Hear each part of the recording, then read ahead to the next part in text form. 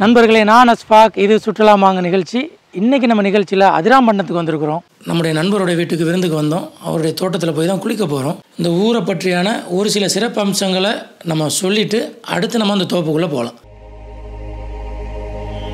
இந்த அதிராம்பட்டினம் தஞ்சை மாவட்டத்தில் மிக முக்கியமான ஒரு பெரிய ஊர். இப்போ ரெண்டாயிரத்தி இருபத்தி ஒன்றில் நகராட்சியாக மாறுனுச்சு. அதுக்கு முன்னாடி பேரூராட்சியாக இருந்துச்சு. நீங்கள் பார்க்கக்கூடிய தோற்றத்தை பார்ப்பீங்க. ரொம்பவே பிரமிப்பாக பசுமையாக பல மரங்களுக்கு இடையில் ஏகப்பட்ட பெரிய பில்டிங்ஸ் தான் நீங்கள் பார்ப்பீங்க.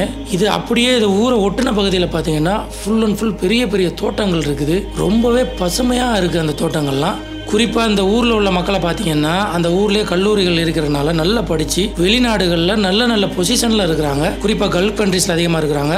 யூரோப்பியன் கண்ட்ரீஸில் ஏகப்பட்ட மக்கள் அதிராம்பட்டினம் மக்கள் இருக்கிறாங்க. London Australia France Italy German சொல்லிட்டு அதிராம்பட்டினம் மக்கள் கால்படாத நாடே இல்லைன்னு சொல்லக்கூடிய அளவுக்கு அந்த மக்கள் உலகத்தில் உள்ள அத்தனை நாடுகள்லையும் வாழக்கூடிய மக்களாக இருக்கிறாங்க. எல்லா மக்களுமே ஹிந்து முஸ்லீம் கிறிஸ்தவ மக்கள் எல்லாருமே ரொம்ப ஒற்றுமையோடு வாழக்கூடிய ஒரு ஊராக இருக்குது. அதே மாதிரி பார்த்தீங்கன்னா தமிழ்நாட்டில் கடலோர மாவட்டங்களில் கிட்டத்தட்ட இந்த ஊரில் மட்டுமே நாற்பதுக்கும் மேற்பட்ட பள்ளிவாசல் கொண்ட ஒரு ஊராகவும் இருக்குது நீங்கள் பார்த்துக்கிட்டு இருக்கக்கூடிய இந்த பள்ளிவாசல் தான் அதிராம்பட்டினத்தினுடைய பழமையான ஜும்மா பள்ளி. இந்த பள்ளிவாசலை கட்டினது யாருன்னு பார்த்தீங்கன்னா மகதூம் சின்ன லெப்பை ஆலிம். அவங்க தான் இந்த பள்ளிவாசலை கட்டினதா நம்மளுக்கு தகவல் சொன்னாங்க. முந்நூறு வருடங்களுக்கு மேலே ஒரு பழமையான ஒரு பள்ளிவாசலாக இது இருக்குது.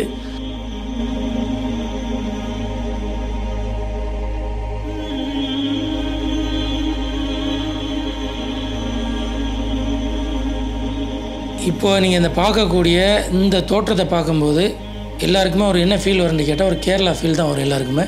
ஆனால் இது கேரளா கிடையாது. தஞ்சை மாவட்டம் அதிராம்பட்டினத்தில் உள்ள ஒரு நம்ம நண்பருடைய தோட்டம் தான் இது.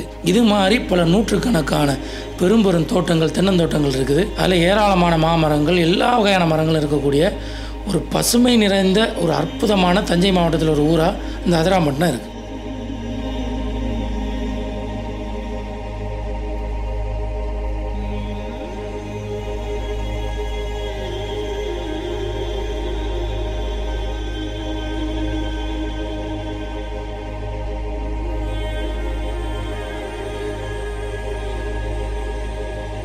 நம்ம தாஜியாக்காவுடைய தோட்டத்துக்கு வந்துட்டோம்.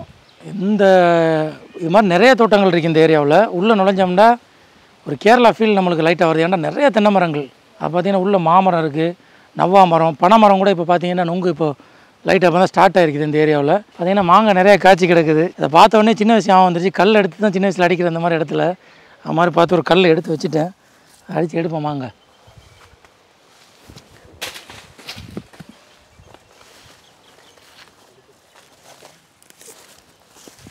ஒரே கல்லில் ரெண்டு மாங்காய் கேள்விப்பட்டுக்கிறீங்களா ஒரே கல்லில் ரெண்டு மாங்காய் அப்படி பால்லாம் வடிக்குது பாருங்க.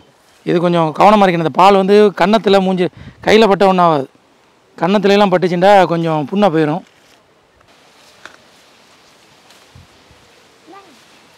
ஆ நீ நடிச்சியடா மாங்காய் வெரி குட் ரெண்டுலடா. தம்பி இது நல்ல நல்ல தண்ணியா இது? இந்த குடத்துல உள்ளது. லைட்டாக கழுவிக்கணும். நல்ல பெரிய மாங்காய் இது வந்து கிளிமூக்கு மாங்கான்னு சொல்லுவாங்க இதை. வேறு எதுவும் ஜாதி இருக்கோ மாங்காய் நம்மள்ட்ட?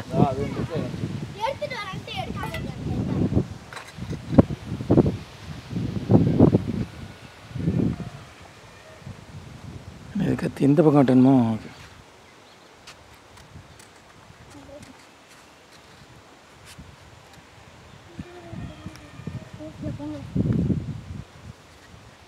மாங்காய் அந்த உப்பு லேசாக மிளகாத்தூளை மிக்ஸ் பண்ணி.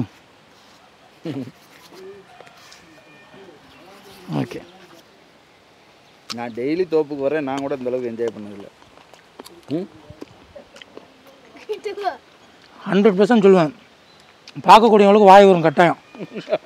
செம்ம டேஸ்ட்டுக்கு தாஜாக்கா.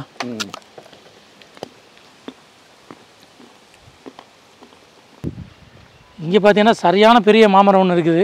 இதில் பக்கத்தில் எதுவும் மாங்காய் கிடக்குதான்னு பார்க்கலாம்.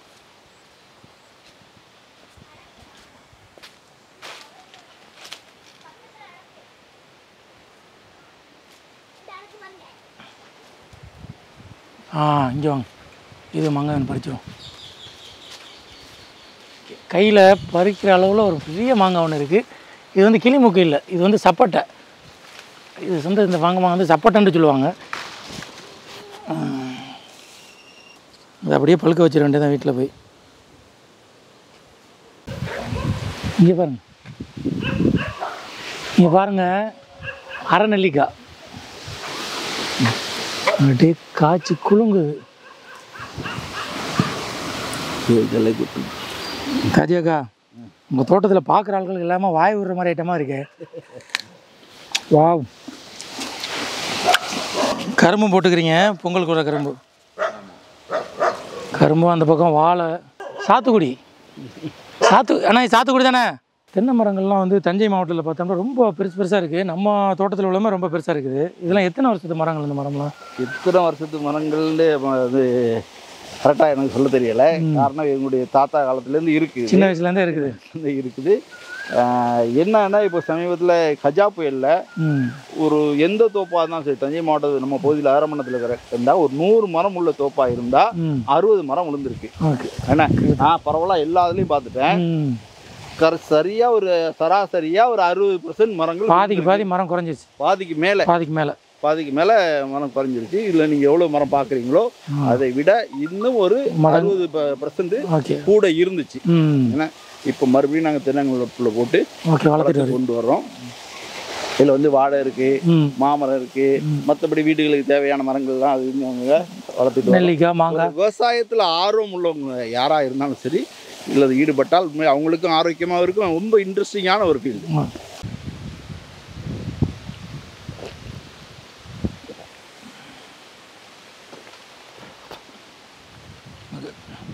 சூப்பரான ஒரு நம்மளுக்கு ஒரு என்ஜாய்மெண்ட் பண்ணி ஏற்பாடு பண்ணி தந்துட்டு கொள்ளைக்கு வந்தோம்.